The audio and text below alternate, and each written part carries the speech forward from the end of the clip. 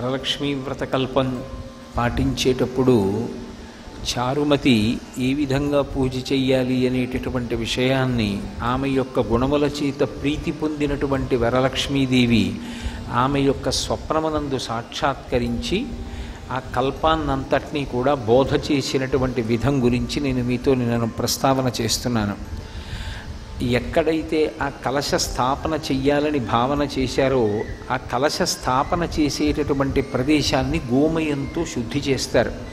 ఎందుచేత అంటే భూమి పవిత్రం కావాలి అంటే దానికి ఏకైక సాధనం ఏది అంటే ఒక్క గోమయంతో మాత్రమే శుద్ధి చెయ్యగలుగుతాం. అమ్మవారి యొక్క మూర్తిని ఉంచేటప్పుడు శక్తి ఉంటే సువర్ణమూర్తి బంగారు మూర్తి లేకపోతే వెండి మూర్తి లేకపోతే రాగి మూర్తి అది కూడా కాకపోతే ఏ దోషం రాదు. కలశ ఒక్కటి పెట్టి పూజ చేసుకోవచ్చు. ఆ కలశ పెట్టి పూజ చేసిన తరువాత అమ్మవారిని ఆవాహన చేస్తారు. ఆ కలశలోకి ఆవాహన చేసి అమ్మవారికి వివిధ ఉపచారములను సమర్పణం చేస్తారు.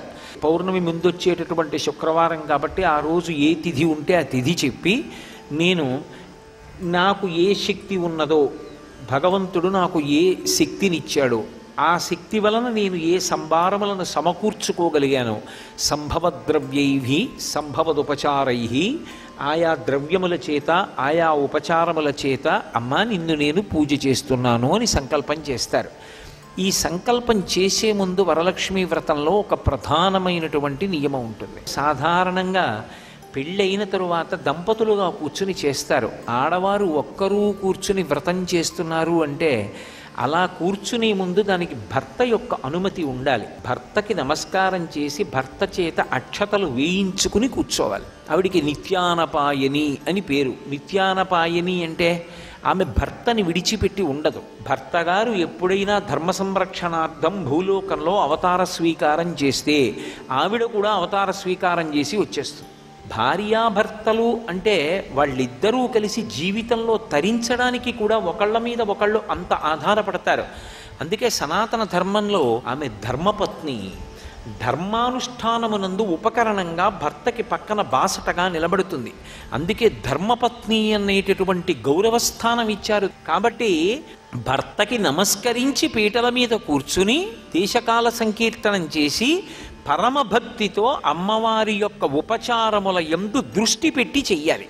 తొమ్మిది మూడుల తోరమును కట్టుకుంది అంటే దానికి అర్థం ఏమిటంటే ఆమె పూర్ణత్వాన్ని పొందుతోంది. ఎక్కడికి పూర్ణత్వం? ఒకటి పక్క సున్న నుండి ఇక్కడ ఆమెకి లేదన్న మాట ఉండదు.